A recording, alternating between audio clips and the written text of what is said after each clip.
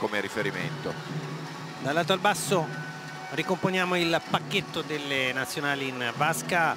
Germania, Francia, Italia, Australia, Stati Uniti, Gran Bretagna, Corea del Sud e Brasile. Per quello che riguarda la nostra nazionale, se si vuole sperare in qualcosa ci vuole la gara perfetta da parte di ognuno dei nostri ragazzi oppure sarà niente.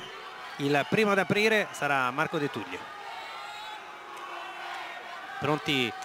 per andare sul blocchetto di partenza. Italia, ripeto, corsia numero 3, terza dall'alto.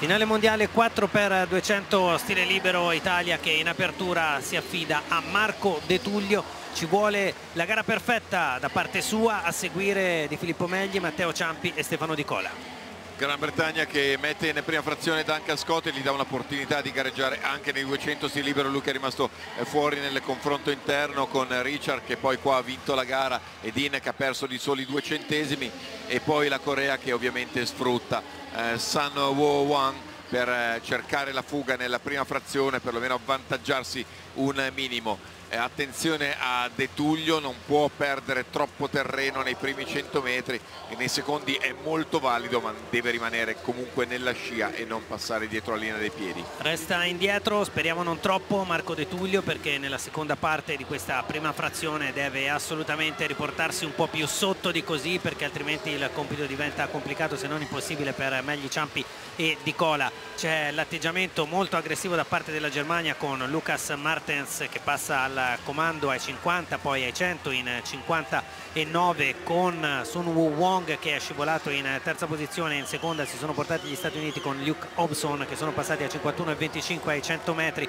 Sempre Stati Uniti in seconda posizione ai 150 1.18 e 19 con Martens a 1.17 e 96 per quello che riguarda l'Italia 1.19 e 94 Marco De Tullio in ultima posizione ci vuole un ultimo grande 50 altrimenti la prova rischia di essere compromessa. E intanto risale anche la Gran Bretagna con Duncan Scott Gran Bretagna che si porta in seconda posizione al cambio davanti c'è la Germania una missione quasi impossibile per l'Italia una frazione di Marco De Tullio da 1.47.43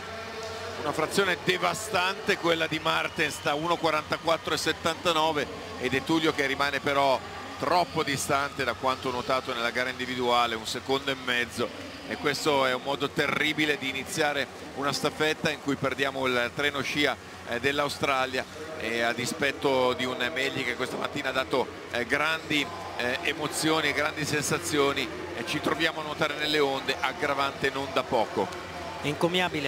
encomiabile Encomiabile Filippo Megli, il primatista italiano che riporta l'Italia in settima posizione, ne fa guadagnare una dopo 50 metri, 23,69 il primo parziale, ma è un'impresa difficilissima perché davanti stanno andando a tutta, davanti c'è la Germania che schiera Rafael Miroslav, 50,87 il primo cento del tedesco con Filippo Megli che ha guadagnato un'altra posizione, adesso l'Italia è in sesta e una 50,31 però ci sono altre due vasche da notare, le fatiche si possono fare far sentire Germania e poi all'inseguimento ci sono Australia, Stati Uniti e Gran Bretagna con il tentativo di Filippo Megli di riguadagnare più spazio possibile. Attenzione anche alla Corea del Sud che ancora non ha mollato definitivamente la presa. No a dispetto di una prima frazione decisamente sottotono eh, rimangono a contatto con la Gran Bretagna che sfrutta Richards nel suo momento migliore ovvero nella progressione degli ultimi 50 chi fino adesso ha fatto il miracolo senza dubbio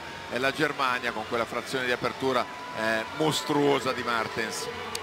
e adesso fa fatica Filippo Megli, prestazione encomiabile, ha speso tantissimo per cercare di recuperare qualcosa. Il tempo di Filippo 1.44 e 94, una bellissima frazione da parte dell'Azzurro a 31 centesimi lo stacco per il cambio di Matteo Ciampi. Vediamo come va, intanto davanti continua il tentativo di impresa della Germania che ora però subisce pesantemente il ritorno della Gran Bretagna dopo la frazione di Matthew Richards, tocca a James Guy. Beh, miracolo devo dire di Megli, una frazione come mai si è vista in Italia perlomeno in tessuto, rimane dietro solo quella di Filippo Magnini all'Olimpiade del 2008, 1.44,94. Questo è un crono che gli permette di permetterebbe di gareggiare in qualsiasi quartetto al mondo, davvero una grande frazione del Fiorentino per rimanere appesi a una speranza e piace dire in un contesto così importante come quello del mondiale dopo tutte le difficoltà bentornato, ben ritrovato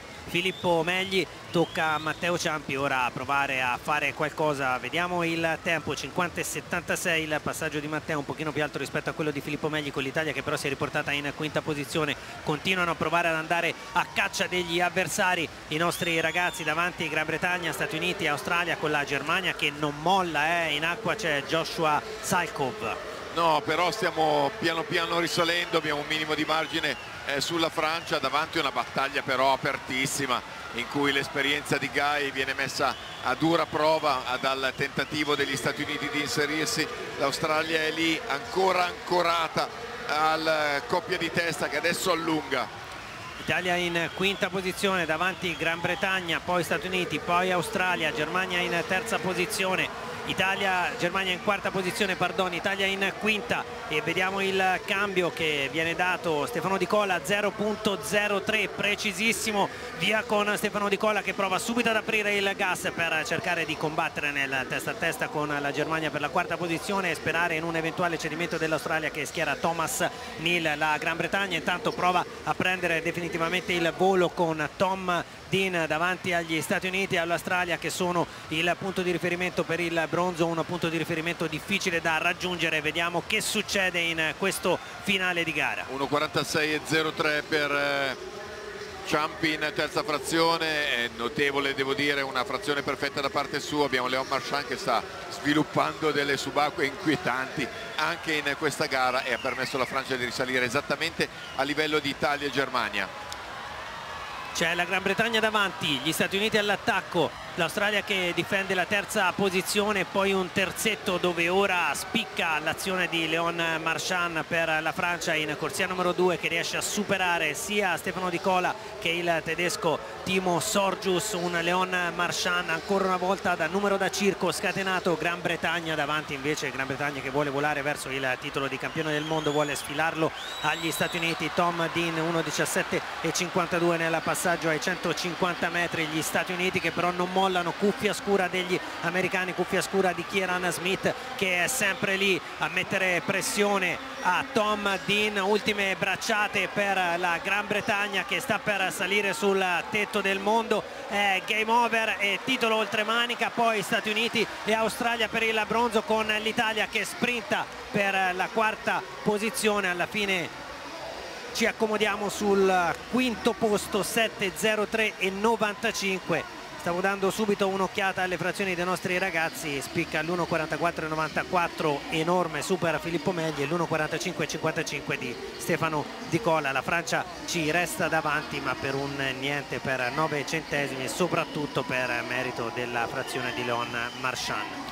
Continuano ad accarezzare il record del mondo senza riuscire a strapparlo agli Stati Uniti i eh, britannici che comunque confermano la loro leadership eh, due anni dopo Tokyo il passo falso dell'anno eh, passato, Australia eh, che ci rimane davanti in maniera molto netta ma l'avevamo detto ci voleva un quartetto eh, perfetto in ogni singola frazione e ne abbiamo avuti tre quarti perché oggi purtroppo Marco De Tullio non è riuscito a tirare fuori una frazione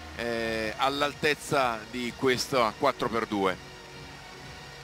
Italia comunque quinta al mondo, il che è un risultato di spessore però. Eh. No, è decisamente buono, però quando tu vai a vedere poi i frangenti e trovi questi crono, ma soprattutto hai un atleta che ha notato 1.46.0 e qui eh, ti apre la staffetta con un secondo rotti eh, di più e ti penalizza moltissimo eh, e questo eh, ce lo siamo portati dietro per tutta la gara. Abbiamo schierato quello che doveva essere il nostro migliore in prima frazione come giusto che sia e Megli che aveva dato grandissimi segni in mattinata per rimanere a contatto però il giochino è cambiato immediatamente. Quando sei dietro e nuoti nelle onde le complicazioni salgono però è pronto, è pronto, guardiamo i risultati positivi, è pronto, è tornato definitivamente Filippo Megli che nel 2019 ha vissuto il suo anno magico, ha carezzato il podio mondiale sia in gara individuale che in staffetta, poi le difficoltà legate a un